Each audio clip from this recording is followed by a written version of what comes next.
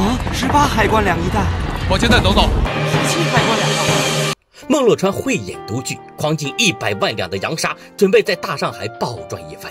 却不料消息提前泄露，引发上海沙价狂跌，棉纱崩市一触即发。一个声音又叨叨：趁着崩市还未发生，咱以十四两的低价甩卖，至少还能保七成本钱，然后一走了之。大清国这么大，换个地方东山再起。另一个声音极力反驳：这么做的直接后果就是加速上海棉业崩市。名下的瑞福祥日后如何能在上海立足？如果不能在上海立足，又谈何做一个大商？我不能既赔了命又赔了钱。进退两难之际，孟洛川把牙关一咬，做出了一个让全上海乃至当时的全中国都极为震惊的决定。当他把这个决定透露给上海的师兄时，师兄也被深深的震撼。你你怎么有这种想法呀？我着急。师兄佩服他的魄力，利用自己的影响力，召集了上海棉纱界所有的商号大佬们，准备向他们宣布这个惊世骇俗的决定。然而，还没等他们开口，大佬们就群起攻之，纷纷指责孟洛川扰乱了上海的棉业，骂他不是上海人，才不管上海死活。他就是当年的胡中英。见此情形，师兄大吼一声，怒骂在座的各位，眼睛里只有自己的利益，说话不分青红皂白。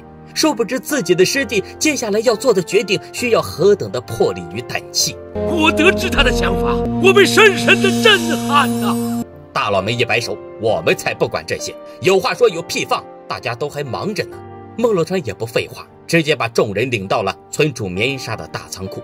除了已经运往山东的一万担棉纱之外，剩下的五万担全在这儿了，折合一百万海关粮。为了不让这五万担棉纱流入到上海的市场，损害到集体的利益，他毅然点起了火把，销毁个人的全部利益。一百万两银子，苏少爷，少爷。一百万汉官粮相当于一百一十万两白银，最高相当于如今十个亿。这是孟家几辈人攒下来的全部家业，就这么付之一炬，看得人震撼不已。孟洛川双眼噙泪，踉踉跄跄后退好几步，两眼一黑，昏睡过去。这一睡就是三天三夜。女人心疼地守候着这个全上海的大英雄，眼里满是爱恋。醒来的孟洛川调侃道：“有晕倒的英雄吗？英雄也是人呐，烧了他的心头肉。”他能不疼吗？看着女人善解人意，孟洛川安慰她道：“其实自己烧掉的并没有一百万海关粮，充其量就是五十万。”女人纳闷了，明明是亲眼目睹棉纱全部被烧，又怎么会是五十万两呢？孟洛川神秘一笑，说：“如果自己不烧，按照现在的行情，充其量也就能卖五十万两。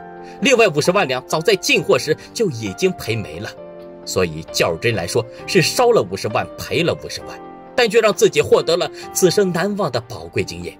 更重要的是，这么一烧，彻底打响了瑞福祥在大上海立足的招牌。这么一算，还赚了呢。事实证明，孟洛川的决定是英明。自从那场大火之后，整个上海都在流传着关于一代大商的传说。孟公子啊，你那把火可是大商家的气火呀！各位看官老爷们，如果这是在你身上，你也会一把火全烧了吗？不管你怎么样，反正叨叨我是不会的哟。